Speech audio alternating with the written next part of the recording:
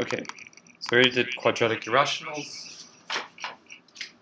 I'm going to talk about distribution stuff first and then homework next. So it'd be too, too far away. So first let's kind of step back and do something very, whoa, their video is playing. Deja vu. Why is that happening? Hello? Feedback. Okay, so consider something sort of Don't know. If you have any real number, you can consider its base 10 expansion, which is a bunch of digits. And these digits are, of course, numbers between 0 and 9. And you can just ask, how are they distributed? Okay? Have you ever done this? Just take a number, like pi, and look at its digits. And you start wondering, maybe does every digit come up equally likely? Or does 3 come up way more often? That sort of thing. Who thinks that every digit comes up with roughly equal probability for pi? Up to what point? In the limit. One hand, two, three. Okay. Some and everybody else thinks they don't. okay, good. So a lot of people think they do. Yeah. Um, so let's just look. Uh, here's an example. So I wrote a little interact. What it does is, here's all the commit for this. What it does is you type in a number, a number of bits of precision that you want to compute it to, and then what it does is it takes all the digits in decimal um, and draws the corresponding frequency histogram. So if you look at the first few digits of pi, um, maybe it would be nice if I printed out the number at the bottom. Uh, so you can see it.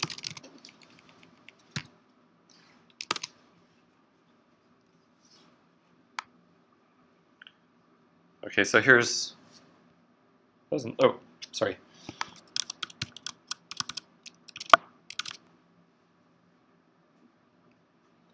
So here's pi, 3.14, and notice there's two threes, so that gets a little bit taller than two, there's only one two in the decimal expansion.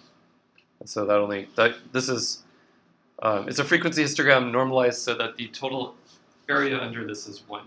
So.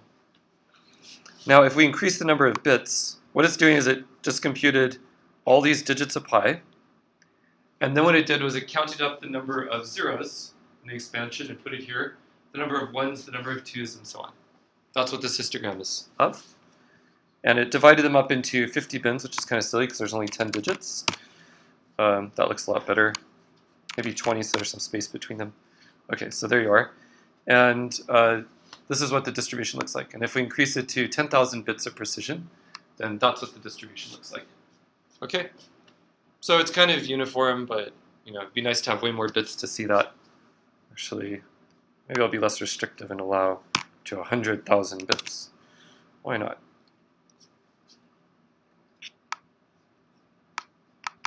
That'd be a good reason not, because I, I just activated the garbage collector. Great.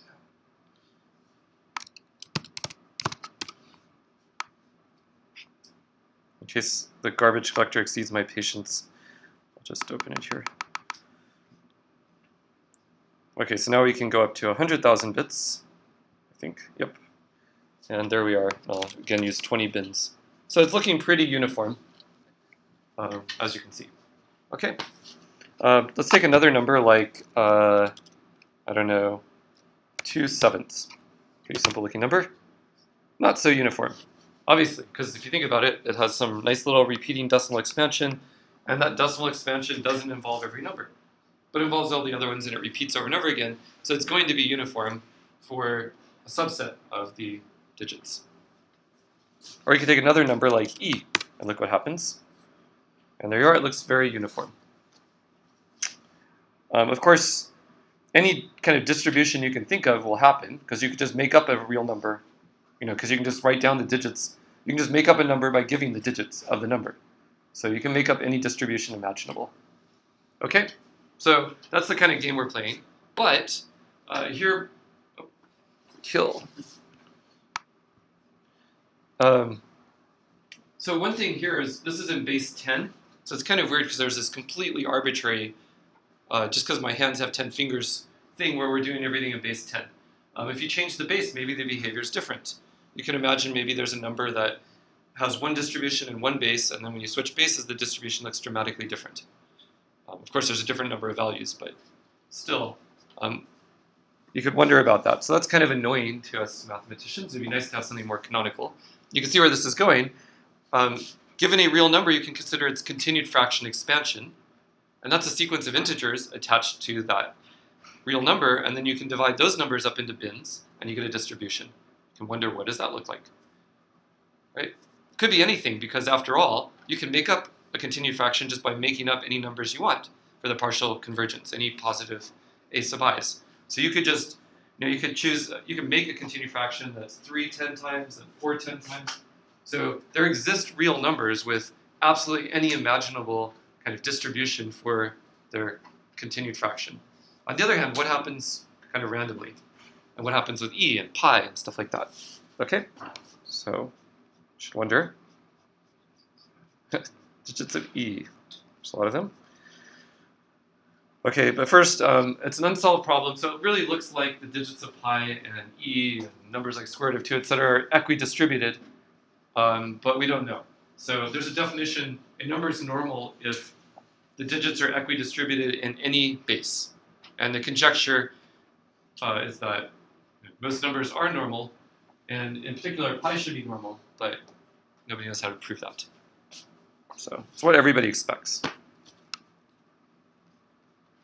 Okay, now let's try to do something very similar, but let's use continued fractions instead. Let's see what happens. Oops. Uh, a little smaller so you can see everything. Okay, here we are. So I get to type in a number, and then I get to type in a number, and then it will give me the distribution of the partial quotients in its continued fraction. So actually, let's start with the number 1 plus square root of 5 over 2. Oops. Been, oh, this causes trouble because every single partial convergent is 1. And somehow, uh, so every single value is 1, and that just throws off my histogram code, evidently. Sorry about that.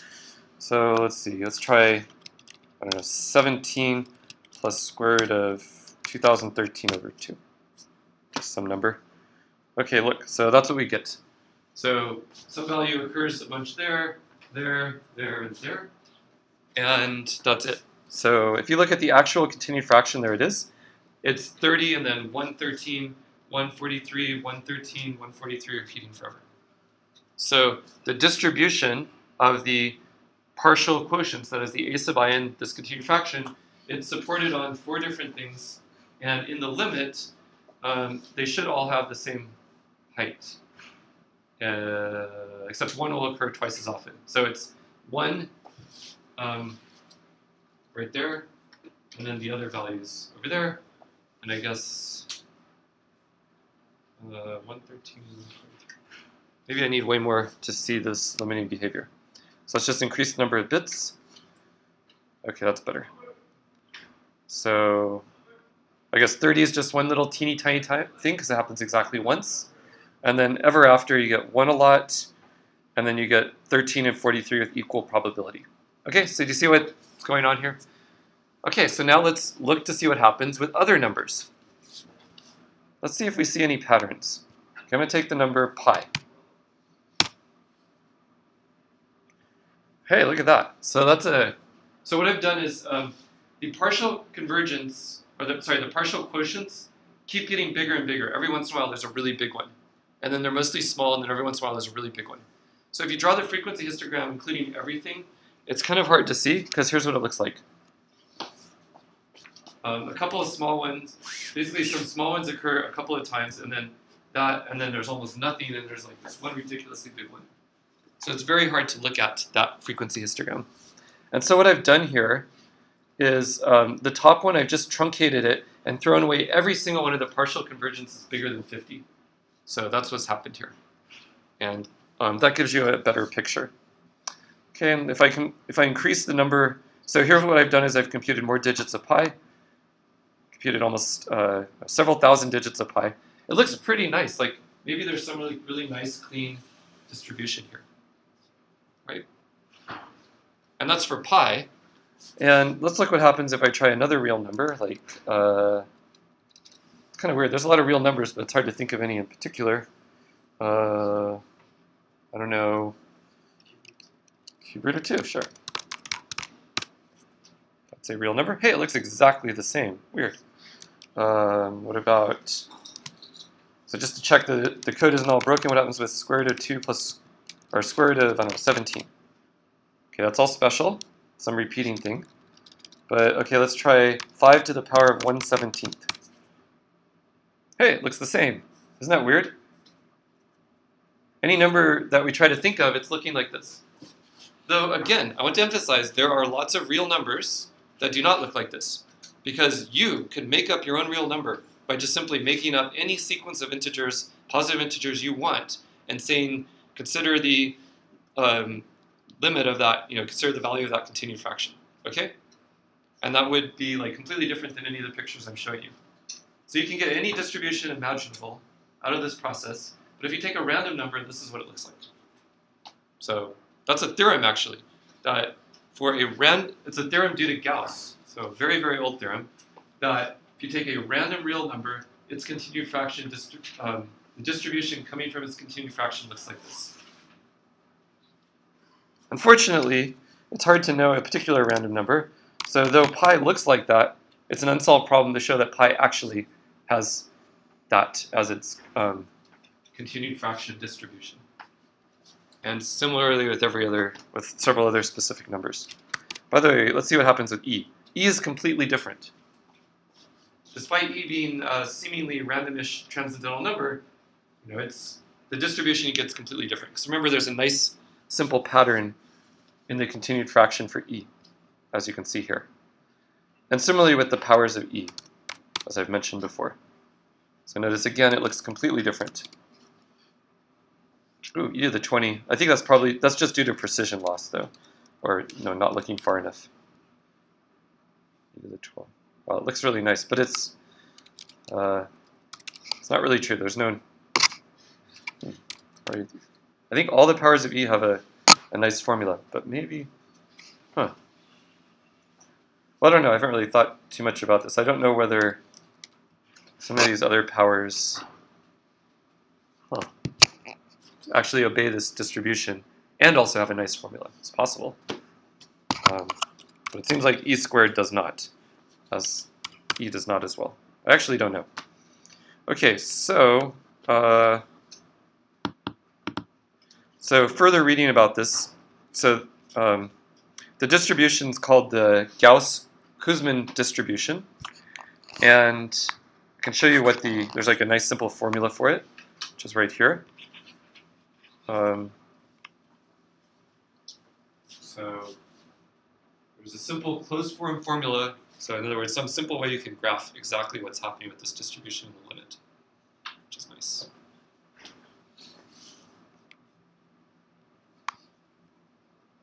But we have the unsolved problem, does E actually obey that distribution?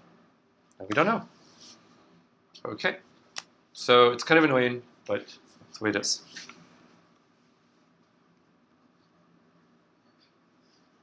All right, any questions?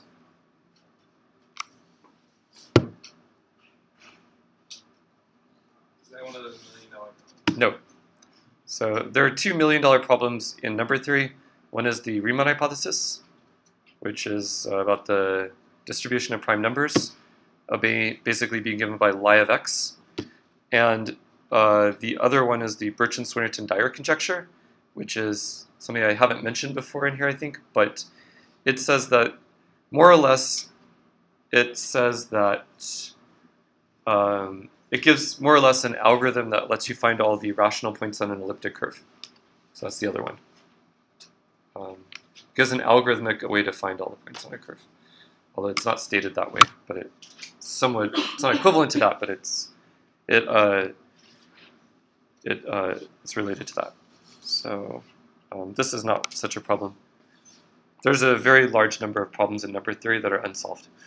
In fact, there's a really nice book called Unsolved Problems in Number Theory by Richard Guy, which is just like pages and pages of unsolved problems in number theory. So remember, um, I found that book when I was some grad student asked me whether there are infinitely many primes that form x squared plus 1 because she needed it for her thesis. I don't know if you guys remember this problem from like the beginning of this class. I gave a very similar exercise. And so I went off for a week and tried really hard to solve this and then finally stumbled upon Richard Guy's book and it's literally unsolved problem number one in that book. I was like, ah! It was very annoying. Okay, so that's the situation with distributions. Basically, usually what you get looks like this. I'll leave you with that. Um, looks like this.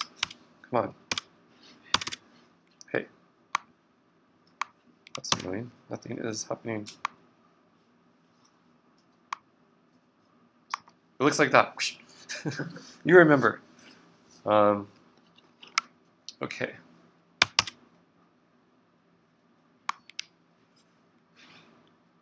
Right, so looks like that.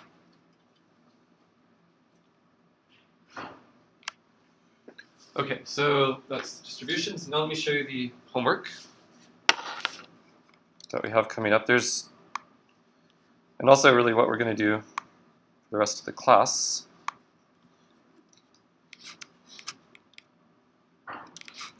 This.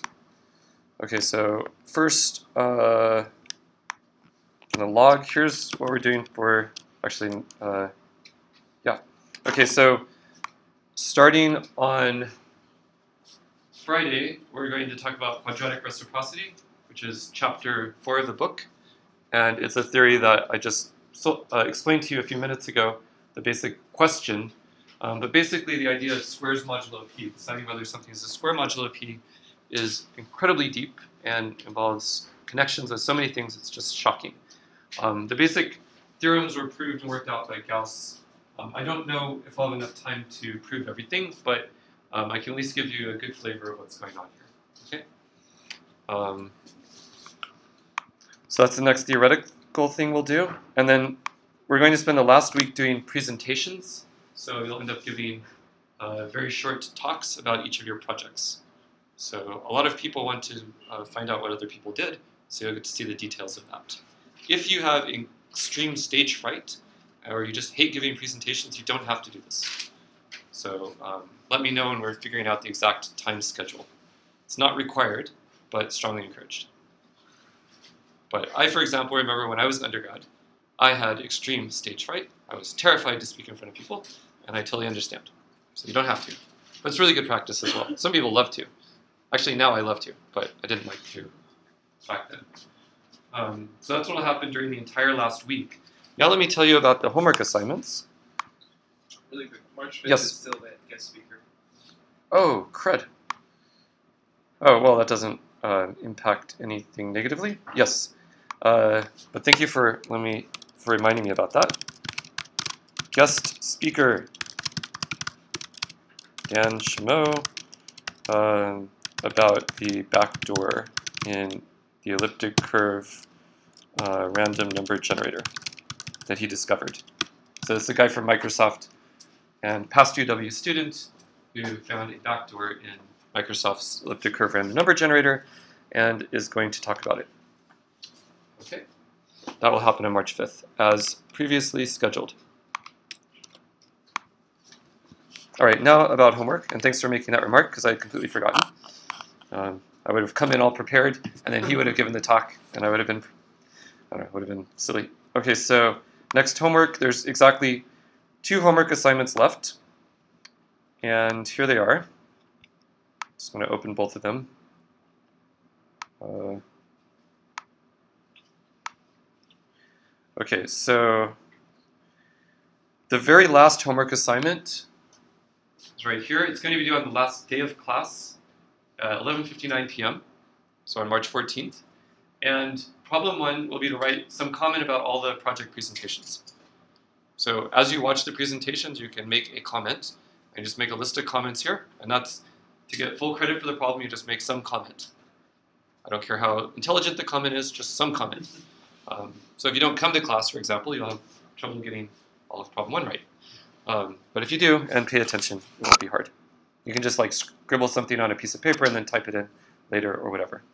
And then problem two will be to turn in the final draft of your project. Okay, So that's the last homework assignment. And then the second to last homework assignment has four problems. And they're the following. Um, let me zoom in a little.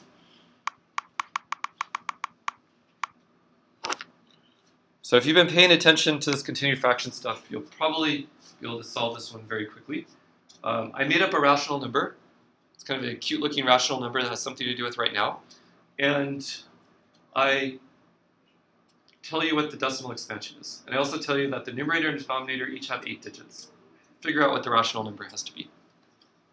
Hint, use continued fractions. So that's what you want to do somehow. Okay?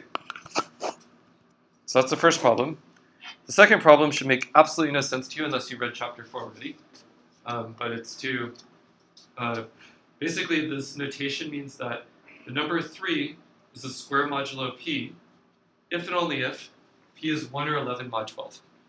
And um, I will state and discuss the law of quadratic reciprocity, and this is an easy, straightforward corollary of that general theorem, where you just work out what the details say in the special case when q in that theorem is 3.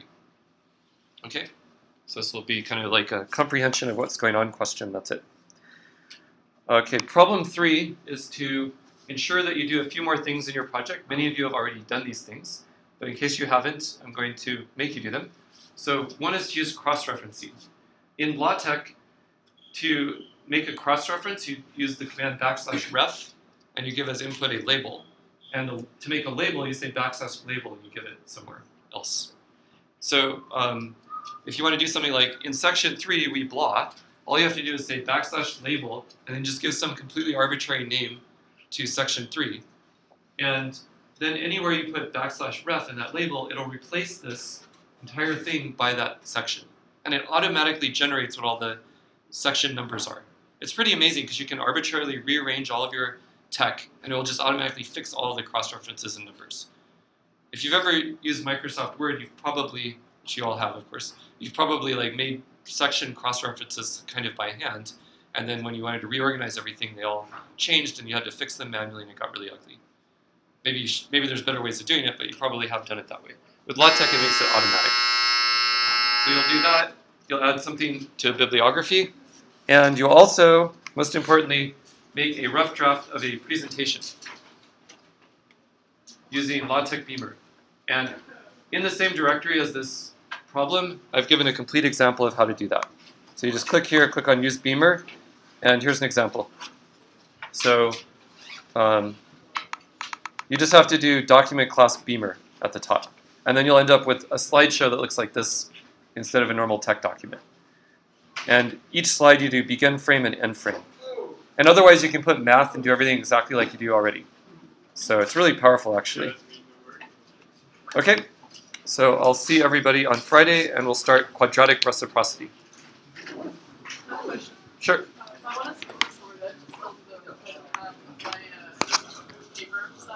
What? Nope. I, I like the way the grading here works is there's I think a total of eight homework assignments. I'm gonna take the six highest grades, average them. That's your grade. What?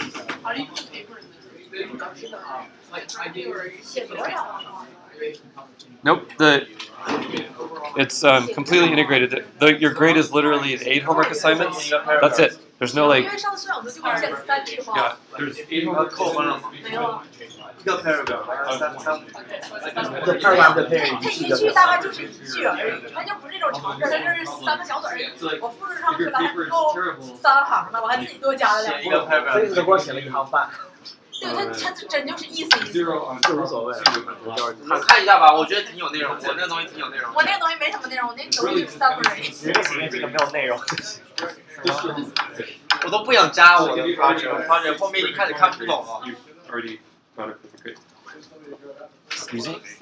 Uh, I'm Yeah. trying to insert uh, the graph into my project, but the saving process just take forever. Okay, let me see. Uh, oh, are you sure you're on? Hang on here. Uh, There's a huge number of errors that could be relevant. Can pull What this happens up. if you click on issues? What? Can pull this up to Yes, see the. yes, certainly. What happens if you click on issues?